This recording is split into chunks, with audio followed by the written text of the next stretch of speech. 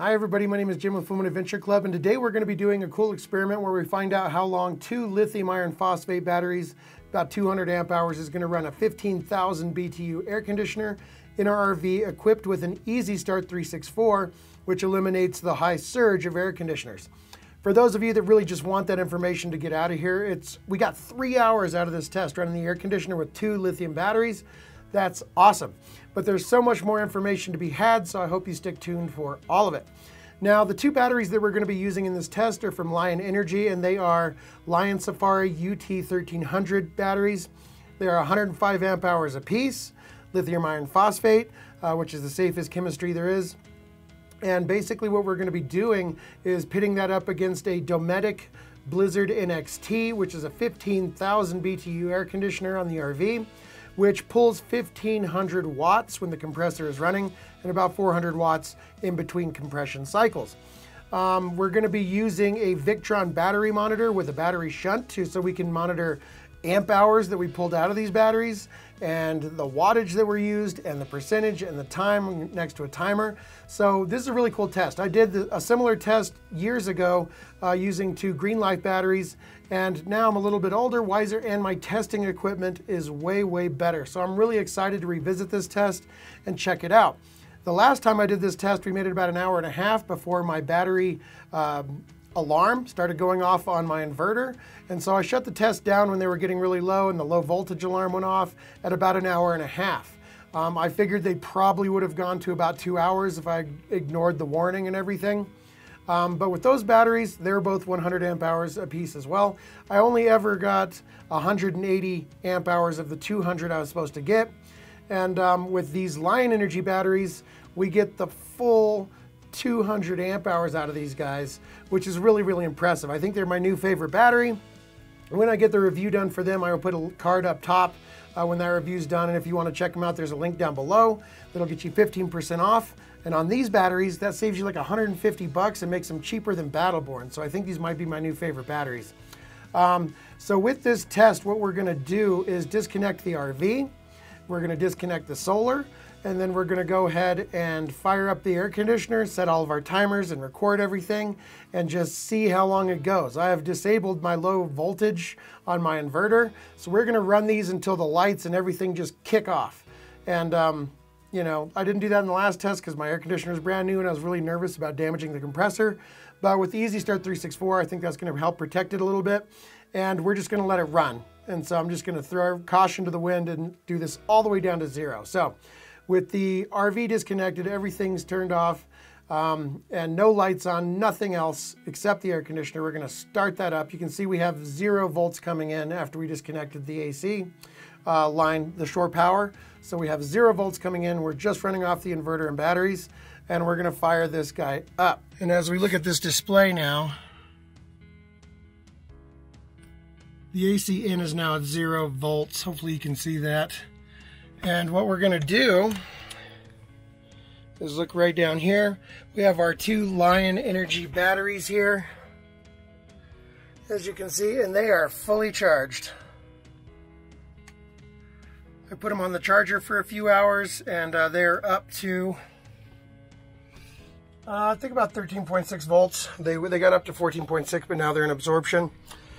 And then over here we have this little setup with our timer and also our Victron Energy monitor there on the phone and then I'll record it with this phone. Okay, so we're recording everything. And we're gonna go over here to the AC.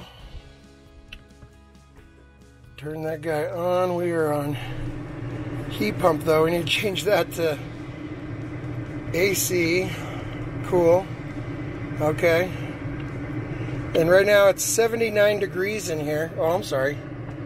Okay, so we have that turned on. We're at 79 degrees is the internal temperature. And we're going to set this to 70 degrees.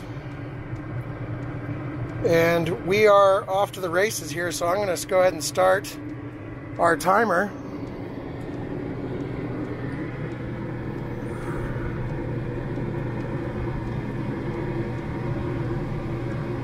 And it looks like we are consuming 100 watts right now. And we'll see how all of this goes. Now, as you can see, it's going to be going from about 3, 400 watts with a fan going to 1500 watts, uh, which is about 125 amps of power.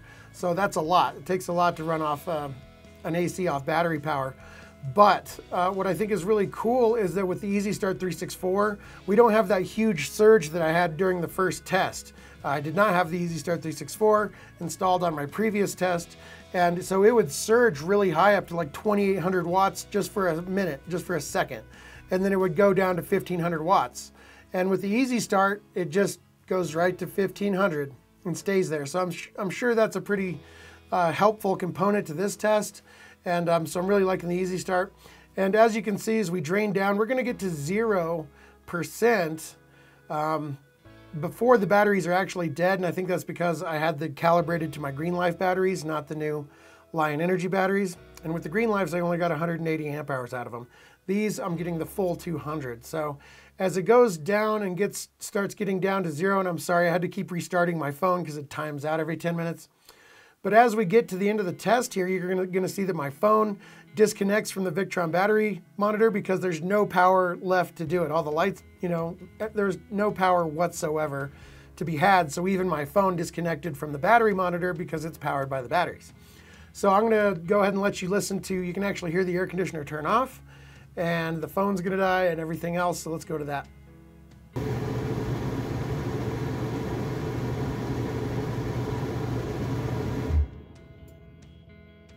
There it is, ladies and gentlemen. The AC is turned off. My phone is doing, so. yep, looks like all the power is completely off.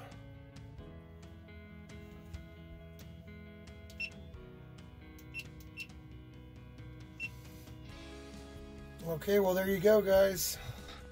That is it. Two hours, 59 minutes. Incredible. And if we come over here to the batteries, the lights are now blinking.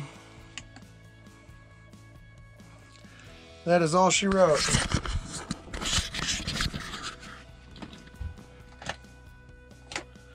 Yep, no lights, no nothing. Everything is dead. So there we go. What a cool test. Impressive. Okay, so we made it three hours, which is really, really impressive. Really cool with the new technology I can use with my battery shunt and the Victron battery monitor. We can see that we actually used 199 amp hours, uh, which is perfect. And they were able to run an air conditioner all the way to the very end of that. So that's very, very impressive that it could deliver enough juice all the way until it was completely dead. There are some playing factors in this that got us up to three hours. The Easy Start 364, I'm sure played a role. I know this because um, sometimes when I'm visiting a friend, I'll run a normal extension cord to their house to maybe try and run the AC while we stay there a day or two. And inevitably after about two hours, it trips their breaker um, because it's just a lot of power in with the surges. Same air conditioner, same extension cord, same house with the Easy Start 364, and I was able to run it all day. So it's definitely doing something for power consumption there. I will put a link down below that'll save you, I think, 10% off that um, if you're interested. And then the batteries, which are Lion Safari UT 1300 lithium iron phosphate batteries. They're 105 amp hours a piece times two.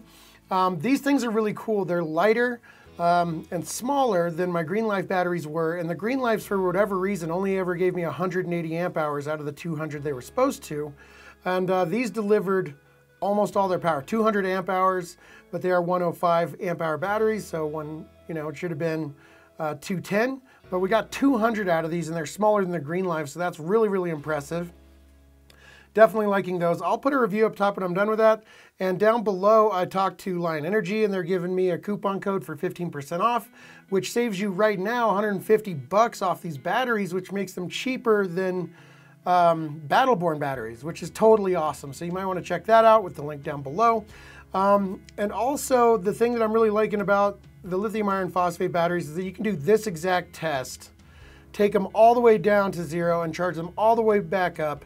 Every single day you can punish these batteries like this and they'll last 9.6 years, 3,500 cycles. And at the end of that time, they're not even dead. They're at 80% capacity. So after 9.6 years, they're gonna give you 80 amp hours out of the 100.